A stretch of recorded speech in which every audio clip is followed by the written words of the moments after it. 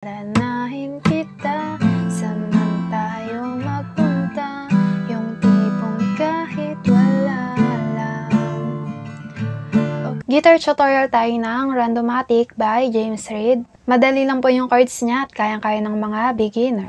Ang mga chords ay D minor, G, C,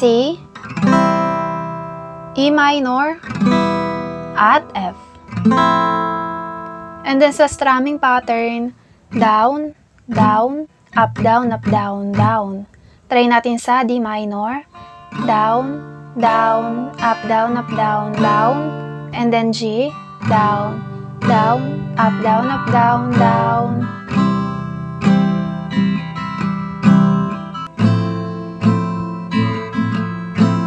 And then may nabago lang na strumming pattern pagdating sa D minor, E minor, F, at G.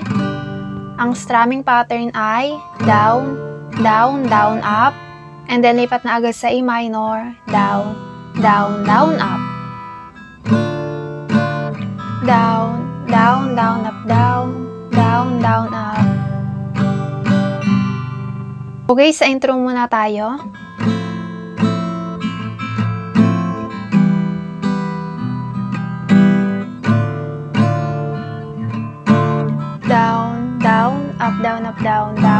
Then sa verse, Paano kung bigla na lamang I wrap my arms on your hips, baby?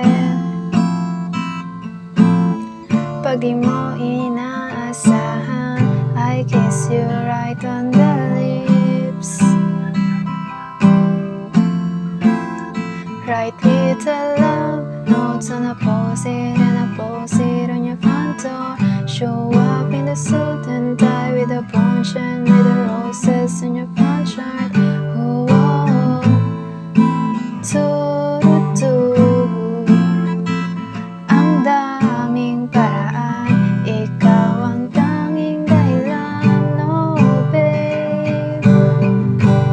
Then sa chorus,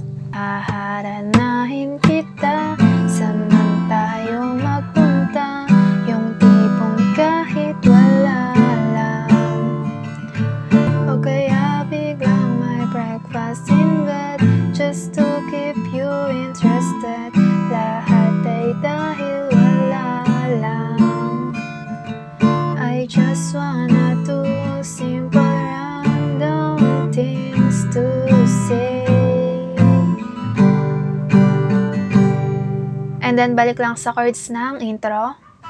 Pilit kang patatawanin kahit na ang sungit mo.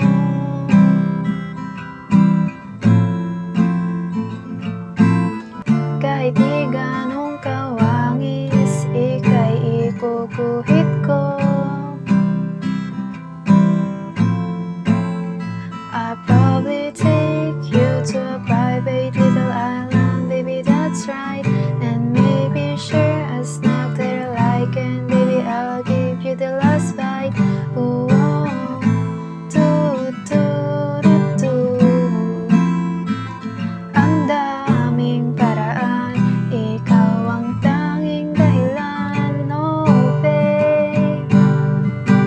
Then balik lang sa chorus.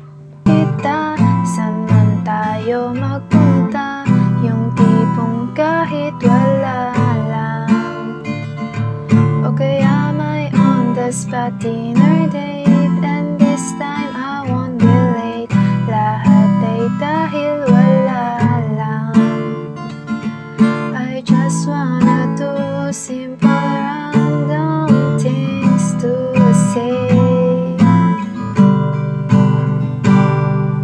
And then sa bridge.